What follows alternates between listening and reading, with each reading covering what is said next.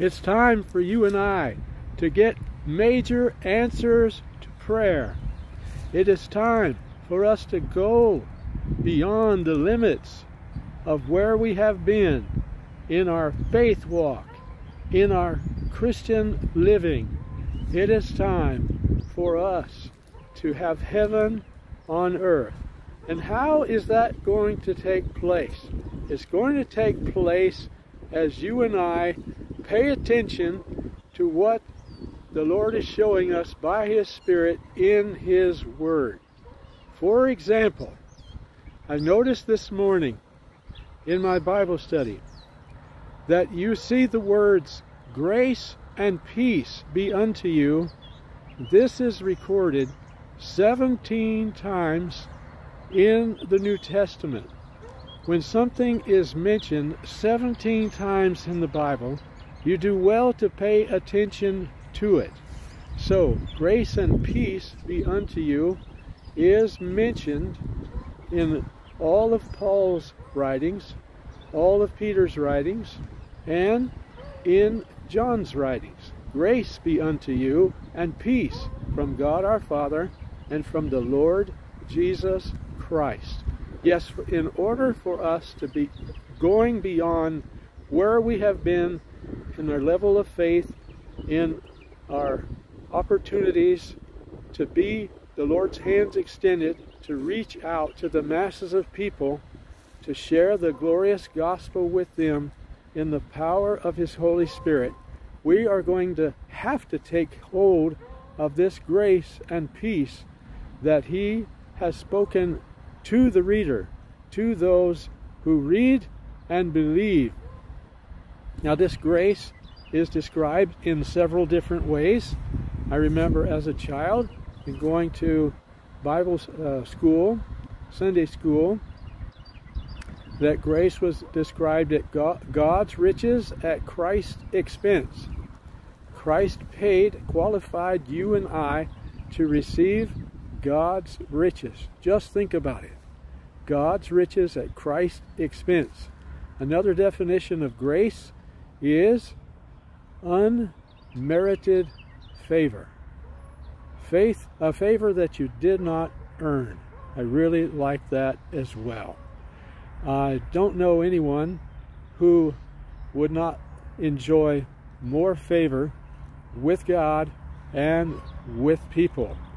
So look at grace be unto you and peace from God our Father and from the Lord Jesus Christ.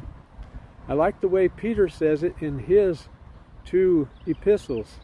He says, Grace be unto you and peace be multiplied. So, Peter had the revelation that grace and peace are God's gifts that can be and should be and should be expected to be multiplied unto us. So, if Jesus Christ is the same yesterday and today and forever, why should we not expect for grace and peace to be multiplied unto us today and each and every day that we live? God's riches at Christ's expense. That is, uh, favor that is not earned. It is God's ability to do whatever is necessary to accomplish His good, acceptable, and perfect will for you and my, you and me. So in this month of July 2021, I am expecting for you and I to go beyond, go beyond the limits of our past experience, to extend our faith to believe that indeed, as Ephesians 3.20 says, He is able. He is able to do exceeding abundantly above all we ask or imagine, according to the power that is at work in us. Let us be aware that the power of the Holy Spirit never stops working for us and working through us, especially as we give place, as we give place to the Spirit of God, as we recognize what He is doing in us and for us. So grace and peace be multiplied unto every one of us in Christ Jesus. Peace that passes all understanding shall guard our hearts and our minds this month more than ever. Why? Because we are expressing our faith in His ability to multiply His peace upon everything in our life. Grace and peace be unto you, so that you are able to do beyond what you imagined was possible.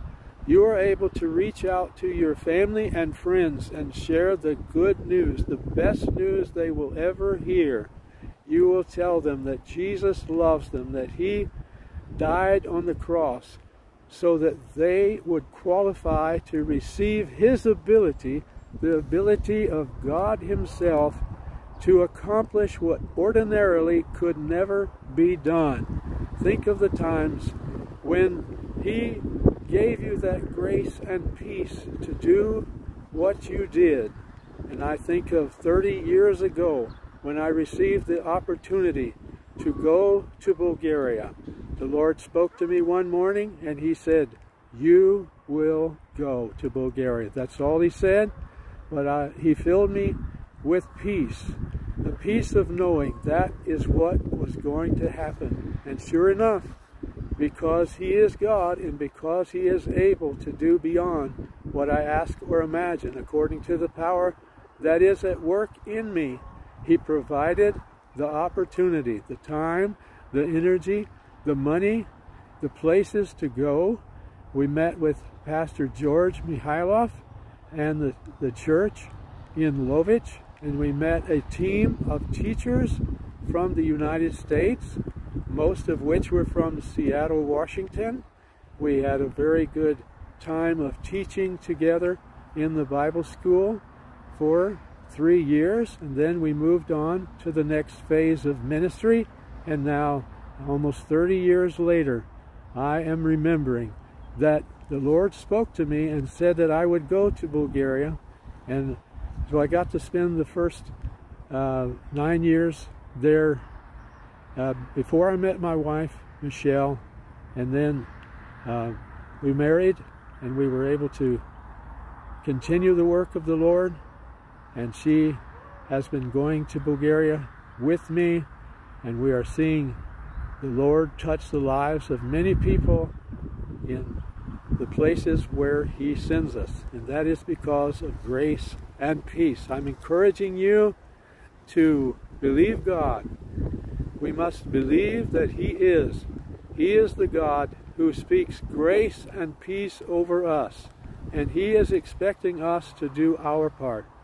Our part is to believe that He is generous and compassionate and fully capable of causing His ability, His grace, to minister to all areas of our life, causing us to be able to do what would never otherwise have happened and have the peace that, that goes beyond understanding. I got on that flight to Europe to eventually fly into Sofia, Bulgaria. And he filled me with a peace, a peace of knowing that he would be with me, that he would supply all of my needs according to his riches and glory, that he would make it possible for people to hear the good news through my voice. And sure enough, that's what he did. My life will never be the same because of his grace and his peace which is working in me. And now, in this month, I am expecting, I am fully expecting that His good, acceptable, and perfect plans be accomplished every single day of my life. I remember what He said in Second Chronicles 16:9 For the eyes of the Lord run to and fro throughout the whole earth show himself strong in behalf of those whose hearts are perfect toward him and because of the grace He has given me, I can say my heart is perfect toward Him. He has given me a perfect heart, a heart that seeks Him each and every morning, a heart that desires to see His will accomplished 100% of the time. He has given me a perfect heart, and He gives it to all who believe. He has found us, you and I, who are listening to this broadcast. He has found us. Our hearts are perfect toward Him, and He is showing Himself strong on our behalf in each area of our life. Bratmi Ilian Ilko, Bog da preizubilno, po vreme, očakvaj neočakvane to, čez vjara v Gospod Isus Hristos. Toj ti dava mnogo blagodat i mnogo poveće mir. Zato pokazuje sebi Verin, kam tebe, posako vreme. God bless each and every one of you today. If you'd like, uh, share this video with other people so that they can hear the good news that the Lord is ready to multiply grace and peace toward each and every one of us. Have a blessed day in Him.